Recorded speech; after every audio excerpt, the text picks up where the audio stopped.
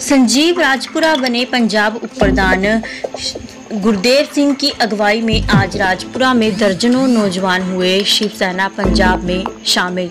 राजपुरा के पुराने bus stand में शिवसेना पंजाब के राष्ट्रीय प्रधान श्री संजीव गनोली जी द्वारा पार्टी का दफ्तर खोल दिया गया है, जिसमें आम जनता की मुश्किलों का समाधान किया जाएगा। आज दर्जनों नौजवानों को शिवसेना पंजाब के राष्ट्रीय प्रधान श्री संजीव गनोली जी ने सरोपा डालकर शिवसेना पंजाब परिवार में शामिल किया और उनके अलग अलग ज़िम्मेदारी सौंपी गई, जिसमें राजपुरा के गुरदेव को शिवसेना पंजाब का पार्टी प्रचारक पंजाब भूपिंदर शर्मा को सिटी प्रधान राजपुरा गौरव धीमान को उप प्रधान राजपुरा नवरत्न भारद्वाज को ब्लॉक प्रधान, सोहन चौहान को जनरल सेक्रेटरी और सुरिंदर सिंह सरपंच मुख्य रूप में मौजूद रहे। इस मौके पर संजीव गनोली जी ने कहा कि जल्द ही राजपुरा के अंदर वगवा मार्च निकाला जाएगा। इस मौके पर जिला पटियाला से पंजाब उप प्रधान बब्बर समाना ने से संदीप कुमार सोनू, पंप वाले मोहाली से राजेश मलिक नागरिक रोपड़ से दिनेश बनोट सरहंद से सीनियर नेता बबला चोपड़ा जी पटियाला से लीगल एडवाइजर देविंदर राजपूत, जिला पटियाला प्रधान गुरिंदर सिंह जग्गी, जिला उप प्रधान हरविंदर हनी बेअंत सिंह गुरी, राजन लुबा आज आदि हाजिर रहे। राजपुरा से पत्रकार तरुण शर्मा की report.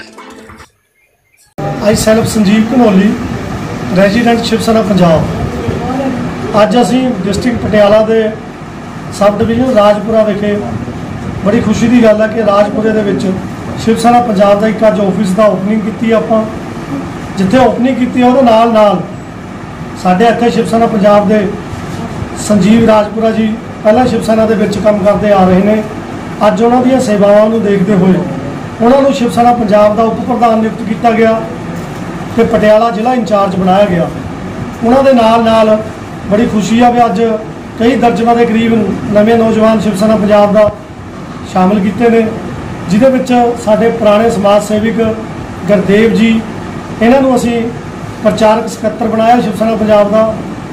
ਉਹਨਾਂ ਦੇ ਨਾਲ ਨਾਲ ਭੁਪਿੰਦਰ ਸ਼ਰਮਾ ਜੀ, ਇਹਨਾਂ ਨੂੰ ਸਿਟੀ ਰਾਜਪੁਰੇ ਦਾ ਪ੍ਰਧਾਨ ਨਿਯੁਕਤ ਕੀਤਾ ਅਤੇ ਇਹਨਾਂ ਦੇ ਨਾਲ ਨਵਰਤਨ ਜੀ ਜਿਹੜੇ, ਉਹਨਾਂ ਨੂੰ ਬਲਾਕ ਰਾਜਪੁਰੇ ਦਾ ਪ੍ਰਧਾਨ ਨਿਯੁਕਤ ਕੀਤਾ ਗਿਆ। ਇਹ ਸਾਡੇ ਇੱਥੇ ਪਹਿਲਾਂ ਸਿਟੀ ਪ੍ਰਧਾਨ ਦਾ ਕੰਮ ਦੇਖ ਰਹੇ ਸੀ। ਇਹਨਾਂ ਦੀ ਤਰੱਕੀ ਕਰਕੇ ਅਸੀਂ ਇਹਨਾਂ ਨੂੰ ਬਣਾਇਆ। ਇਹਨਾਂ ਦੇ ਨਾਲ ਕਰੀਬ 2 ਦਰਜਨ ਦੇ ਨਵੇਂ ਨੌਜਵਾਨ ਜਿਹੜੇ ਅੱਜ ਸ਼ਿਵ ਸੈਨਾ ਪੰਜਾਬ ਦੇ ਵਿੱਚ ਸ਼ਾਮਲ ਕੀਤੇ ਨੇ। ਸਾਨੂੰ ਖੁਸ਼ੀ ਆ ਵੀ ਸ਼ਿਵ ਸੈਨਾ ਪੰਜਾਬ ਜਿਹੜੀ ਇਹ ਸਮਾਜ ਹਿੱਤ ਲਈ ਕੰਮ ਕਰਦੀ ਆਈ ਆ ਤੇ ਸਾਡੇ ਪਰਿਵਾਰ ਦੀਆਂ ਸਮਾਜ ਹਿੱਤ ਕੰਮ ਕਰਨ ਨੂੰ ਦੇਖਦੇ ਹੋਏ ਨਵੇਂ ਨੌਜਵਾਨ ਸੀਨੀਅਰ ਸਿਟੀਜ਼ਨ ਤੇ ਪੰਚਾਇਤਾਂ ਦੇ ਵੀ ਕਈ ਨੁਮਾਇੰਦੇ ਜਿਹੜੇ ਸ਼ਿਵ ਸੈਨਾ ਪੰਜਾਬ 'ਚ ਜੁਆਇਨ ਹੋਏ ਨੇ। ਸਾਨੂੰ ਖੁਸ਼ੀ ਹੈ ਵੀ ਸ਼ਿਵ ਸੈਨਾ ਪੰਜਾਬ ਇਸੇ ਤਰ੍ਹਾਂ ਲੋਕਾਂ ਦੀ ਸਮਾਜ ਸੇਵਾ ਕਰਦੀ ਰਹੇ। ਅੱਜ ਰਾਜਪੁਰ ਦੀ ਜ਼ਿੰਮੇਵਾਰੀ ਸੌਂਪੀ ਹੈ। ਇਹਦੇ ਬਾਰੇ ਦੱਸੋ। ਪੰਜਾਬ ਦੀ। ਜ਼ਿੰਮੇਵਾਰੀ ਸੌਂਪੀ ਹੈ ਇਹਦੇ ਬਾਰੇ ਦੱਸੋ ਸਾਡੇ ਪਰਮ ਸਤਿਕਾਰਯੋਗ ਸੰਦੀਪ ਘਨੌਲੀ ਜੀ ਅੱਜ ਸਾਡੇ ਰਾਜਪੁਰਾ ਵਿਖੇ ਪਹੁੰਚੇ ਆ। ਮੈਂ ਇਹਨਾਂ ਦੇ ਇੱਥੇ ਆਉਣ ਤੇ ਬਹੁਤ ਬਹੁਤ ਧੰਨਵਾਦ ਕਰਦਾ ਹਾਂ ਤੇ ਸਾਡੀ ਪਾਰਟੀ ਦੇ ਹੋਰ ਨੇਤਾ ਦਾ ਵੀ ਧੰਨਵਾਦ ਕਰਦਾ ਜਿਹੜੇ ਇੱਥੇ ਅੱਜ ਰਾਜਪੁਰਾ ਵਿਖੇ ਪਹੁੰਚੇ ਆ। ਤੇ ਇਹਨਾਂ ਨੇ ਮੈਨੂੰ ਪੰਜਾਬ ਦੀ ਵਾਈਸ ਵਾਈਸ ਪ੍ਰੈਜ਼ੀਡੈਂਟ ਦੀ ਜ਼ਿੰਮੇਵਾਰੀ ਲਾਈ ਆ। ਮੈਂ ਆਪਣੀ ਜ਼ਿੰਮੇਵਾਰੀ ਆਪਣੇ ਪੂਰੇ ਮਨ ਤਨ ਧਨ ਨਾਲ ਨਿਭਾਵਾਂਗਾ। ਪਹਿਲਾਂ ਵੀ ਨਿਭਾਉਂਦਾ ਰਿਹਾ ਤੇ ਹੁਣ ਵੀ ਨਿਭਾਵਾਂਗਾ।